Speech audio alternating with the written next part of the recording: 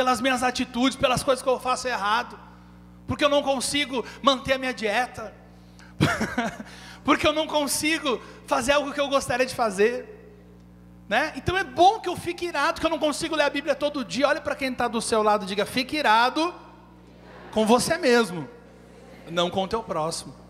Então é normal e é, é gostoso esse tipo de ira, aquele sentimento de indignação consigo mesmo. Deus, eu preciso mudar.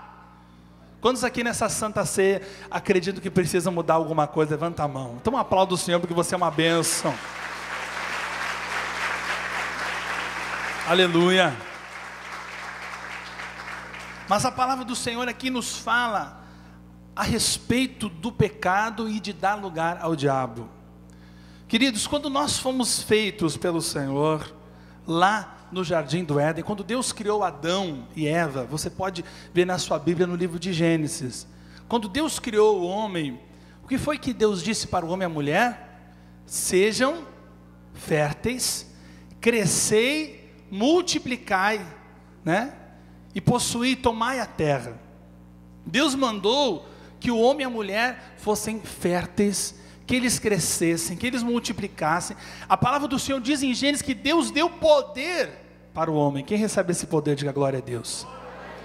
Deus ele liberou poder, Deus ele liberou autoridade.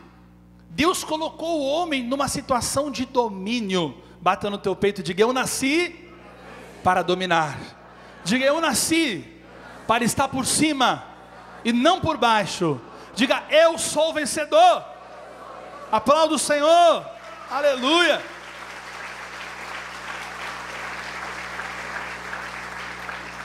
Deus ele deu autoridade para o homem. Deus ele deu poder, Deus ele deu domínio. A palavra do Senhor diz: "Façamos o homem à nossa imagem e semelhança". Então Deus ele, ele contribuiu, Deus ele dividiu, ele deu poder, ele deu autoridade para o homem. Quem colocou o nome dos animais foi o homem, né? E outra coisa, amado, o jardim do Éden era, era um local delimitado. Porém, a intenção de Deus e a ordem que Deus deu para o homem e a mulher era que eles fizessem o quê? Alargassem o seu domínio. Não foi isso que, que Jesus falou, que Deus falou para eles? Crescei multiplicai e povoai a terra. Então a ordem foi que eles aumentassem o domínio deles e não perdessem o seu domínio. Eu quero perguntar para você, amado, como é que estão os teus domínios? Sobre o que que você tem dominado? Você tem aumentado o teu domínio ou diminuído o teu domínio? Você tem conseguido dominar a si mesmo? Você tem conseguido dominar a sua carne?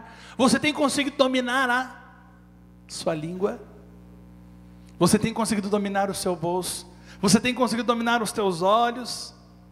Você tem conseguido administrar da melhor maneira possível o que Deus colocou de precioso nas tuas mãos? A tua família, o teu trabalho. Glória a Deus, você que tem recebido coisas grandes de Deus, diga glória a Deus. O que, que aconteceu, queridos? Satanás, ele havia sido expulso dos céus. Satanás caiu dos céus.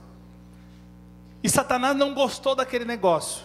Dome ter poder, dome dominar, dome estar por cima e não por baixo. Então o que foi que Satanás fez? Ele entrou na serpente e propôs algo para Eva. Olhe para quem está do seu lado e diga: Satanás não vai te obrigar a fazer nada. Diga, ele vai te propor, ele vai te tentar. Misericórdia. Sabia disso, querido? Satanás ele nunca vai obrigar ninguém a fazer nada. Satanás ele não vai obrigar você a separar da sua esposa. Satanás não vai obrigar você a se prostituir. Satanás não vai obrigar você a mentir. Satanás não vai obrigar você a matar ninguém. Satanás não vai obrigar você a roubar, meu irmão. Mas ele vai propor. E sabe onde que ele propõe primeiro? Lá no pensamento. O que está passando pela tua cabeça hoje? Que está passando aí nessa cabecinha? O que, que Satanás está tentando infiltrar na tua cabeça? Que pecado que ele está infiltrando aí? Que pecado matador, destruidor, que Satanás está tentando infiltrar na tua cabeça para cumprir o papel dele. E o papel de Satanás é matar, roubar e destruir. Matar a tua alegria, destruir os teus sonhos, roubar a tua felicidade, a tua família. Satanás quer que você perca a tua bênção e o teu domínio no meio dos teus dedos ali. E foi o que aconteceu lá no jardim do Éden. Para quem que Deus tinha dado autoridade para dominar, para ter poder? Deus tinha dado autoridade para quem? Para o homem.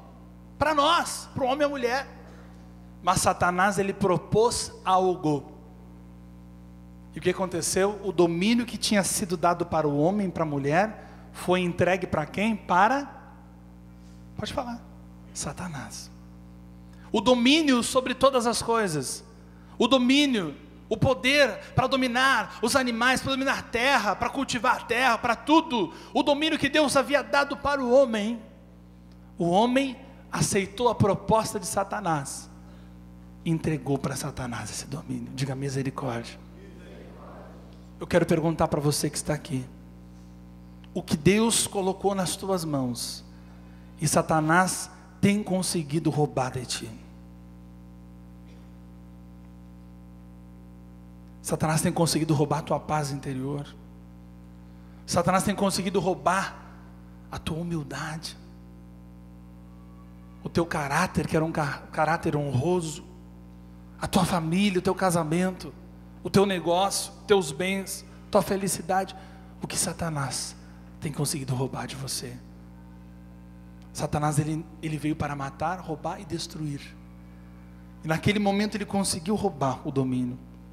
Tanto que, se nós formos analisar a palavra de Deus, depois que Jesus se batizou, ele foi para onde? Para o deserto ser o que?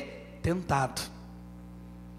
E lá, quando ele estava sendo tentado, no, momento de jejum, de oração, eu vou dizer uma coisa para você, amado. Você que tem orado ao Senhor, você que quer consagrar a tua vida, te prepara, porque quando você decide seguir ao Senhor de verdade, quando você se entrega para Ele de verdade, que o mundo vai se levantar contra você mas Deus vai te dar vitória, assim como Jesus venceu, você também vencerá.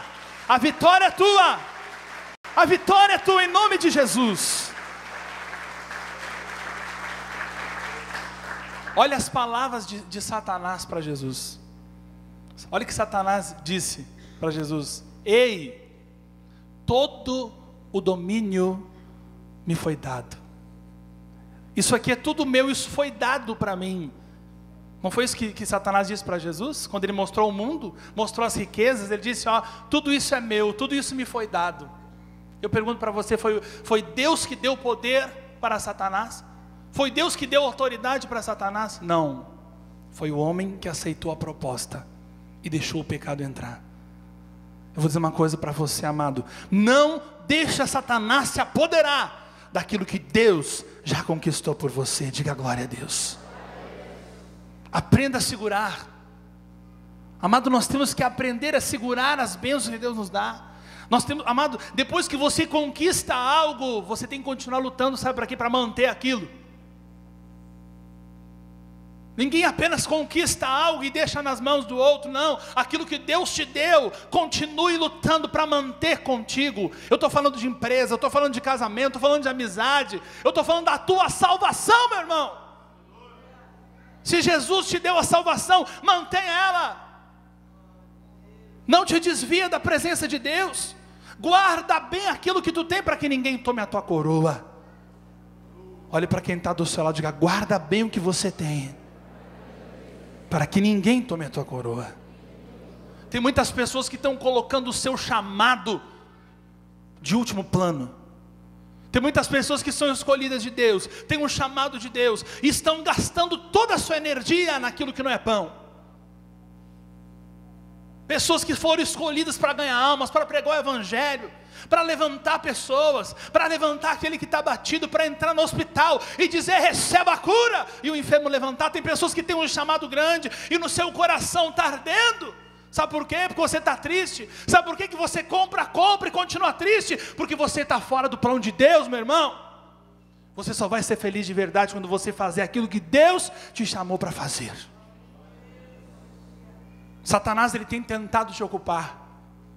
Satanás tem tentado manter você ocupado com tantas coisas. E a insatisfação tomou conta do teu coração, mas não é uma insatisfação com as coisas espirituais, é uma insatisfação com as coisas materiais.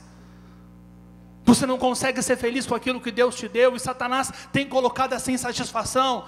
Ele está propondo que você ame mais as coisas do que a Deus. Por isso que o vazio tem tomado conta. Por isso que bate aquela dor, por isso que você não tem vontade de vir na igreja.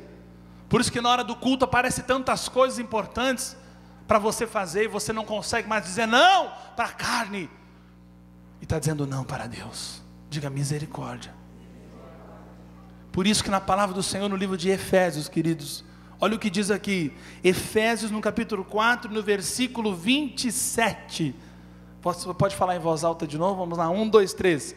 Não deis lugar ao diabo. Vou dizer uma coisa para você, amado: Satanás, ele não vai se meter quando você não der lugar para ele.